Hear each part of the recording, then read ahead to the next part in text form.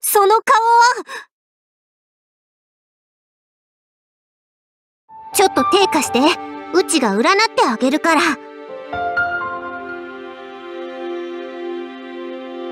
む。むむむ。うちの占いが告げている。あなたが今度の定期テストで赤点を取るって。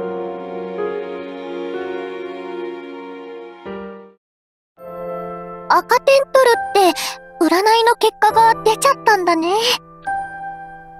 赤点取っちゃうなんて。かわいそう。のぞみちゃんの占いって全部当たるんだよね。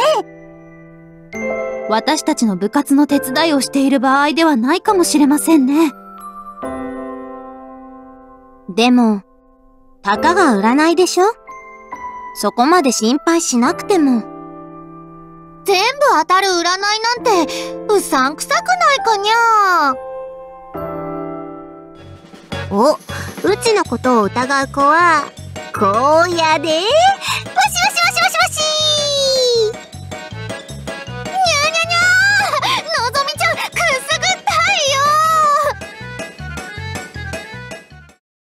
占いが当たるかどうかは別として、テストに向けてしっかり勉強すればいいんじゃない？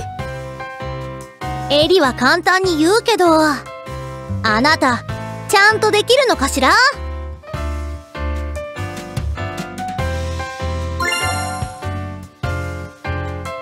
うんうん、首相な心がけやね。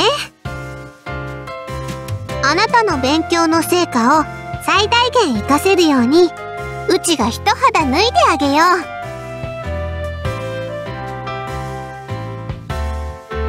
うちがあなたに毎日アドバイスしてあげる。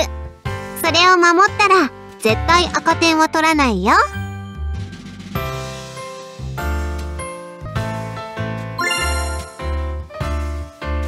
大丈夫。そんな悲しそうな顔はあなたには似合わないよ。